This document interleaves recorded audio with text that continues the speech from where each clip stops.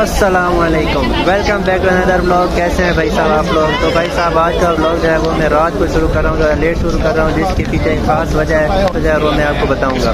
तो सबसे पहले तो आप वीडियो का थंबनेल और टाइटल देख के थोड़ा हैरान हो गए होंगे कि बंदा जीते जी जन्नत में कैसे पहुँच गया। तो जन्नत में पहुँचना बिल्कुल मुमकिन है जीते जी मुमकिन है जो जो आप लोग मेरे पीछे वो लोग देख रहे हैं ना वो इतनी लंबी जो ये लाइन लगी हुई है।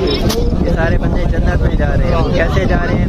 क्योंकि मस्जिद नबी में एक ऐसी जगह है जिसके बारे में हजूर सलाम ने है कि ये जो जगह है, जन्नत के बागों में से एक बाग है, यानी जन्नत का हिस्सा है। उस जगह का नाम रियासुल जन्ना है। अभी वहाँ पे जा रहा हूँ। आज का जो ये ब्लॉग है, ये आपको शायद थोड़ा लेट मिले, एक दो दिन के बाद मिले। मेरी खुशकिस्मत ही देखें कि आज सत्ताईसवीं की शब है, आज मुमकिन शब कदर भी हो सकती है। और आज ही मुझे रियासुल जन्ना में जाने का वो शर्फ भी हासिल हो रहा है। आगे रियासुल जन्ना में कुछ पिलर्स हैं, जिनकी मुख्तलिफ़ हिस्ट्रीज़ हैं, वो वो जो हिस्ट्रीज़ हैं, वो भी मैं आपको बताऊँगा। लेकिन वहाँ पे मैं बोलूँगा नहीं उसकी जो हिस्ट्री है, वो मैं आपको वॉइस ओवर में शेयर करूँगा। और जो जो क्लिप है, जो वीडियो है, वो आपको शो हो रही होगी। तो अभी ये रास्ता है। ये सारे लोग जो हैं, ये वहाँ से वो जो, ये जो, ये पुलिस वाले खड़े हैं, ये उनकी वो बुकिंग चेक कर रहे हैं कि जिसकी बुकिंग हुई हुई है, सिर्फ़ उसी को अंदर जाने दे रहे हैं। तो मेरी बुकिंग हुई हुई है तो अभी इंशाल्लाह उनको बुकिंग दिखाते हैं और फिर इंशाल्लाह आगे जाएँगे।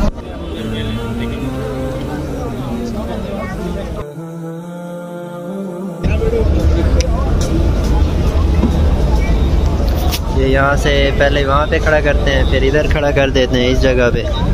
तो मतलब थोड़े थोड़े करके आगे भेज रहे हैं। अभी वहाँ पे भी वो लोग खड़े हैं, उधर पीछे फिर वो लोग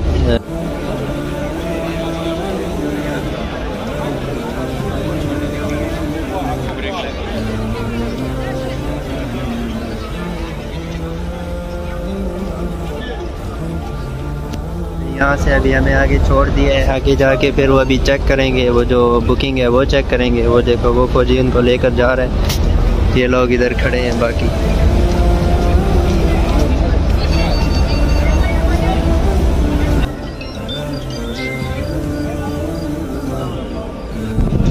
भाई, मुझे दुखोल मिल गया यहाँ से एंट्रेंस मिल गई है। वो जो पीछे रेड कलर की जो इस तरह के रुमाल वाले खड़े हैं, वो वहाँ पे सिक्योरिटी गार्ड है, वो चेक कर रहे हैं।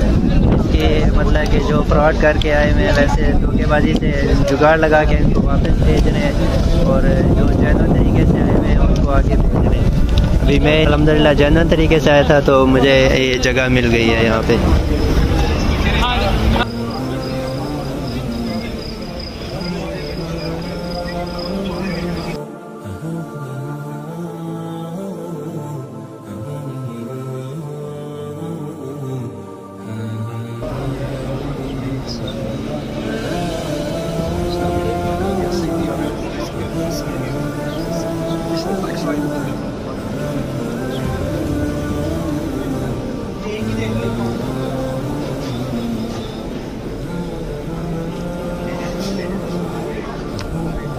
अलहमदिल्ला जन्नतुलबकी में मैं एंटर हो चुका हूँ। वो जो जगह आप ऊपर देख रहे हैं ना, वो वाली, वहाँ पर अजान देते हैं मुझे और ये, माशाल्लाह, यहाँ पर रोज़ा पाक है।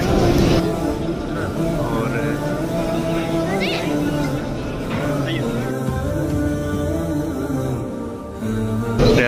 के मनाजिर आप देख सकते हैं।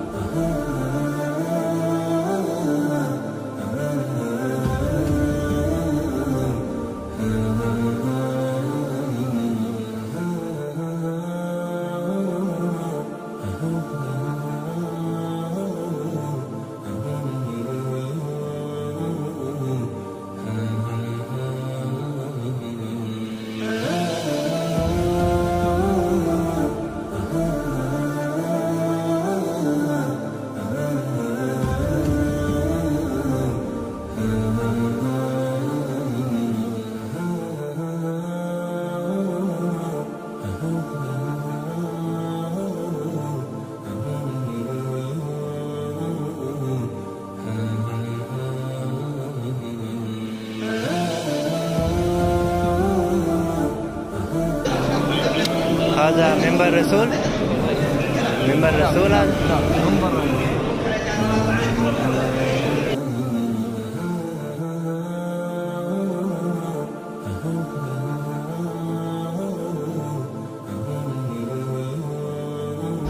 अल्हम्दुलिल्लाह जन्नतुलबकी में दाखिल होने का शर्फ अल्लाह ताला ने मुझे बख्शा। जन्नतुलबकी की ज्यारत करके मैं आ गया हूँ। वो जो पिलर्स जो मैं आपको बता रहा था, वो मुझे शुरू में तो नज़र ही नहीं आए। फिर जब मेरा टाइम ख़त्म होने लगा, जब वो बाहर निकालने लगे, तब जाके मुझे वो पिलर्स नज़र आए। तो वो पिलर्स मैंने थोड़े बहुत रिकॉर्ड किए हैं तो उनकी हिस्ट्री में अभी आपको थोड़ी बहुत बता देता हूँ। वो जो पिलर जिनके नाम है, वो क्लियर तो ऐसे नज़र नहीं है लेकिन वो बाहर आए हैं। पिलर्स के ऊपर ग्रीन कलर के ऐसे सर्कल में उनके नाम लिखे हुए पिलर्स के और उनके हिस्ट्री में अभी आपको थोड़ी थोड़ी बताता जाता हूँ। रियाजुल जन्ना में तीन चार सतून हैं, जिनमें से एक का नाम उस्तवाना आयशा है, एक का नाम उस्तवाना हन्नाना है, एक का नाम उस्तवाना हारिस है।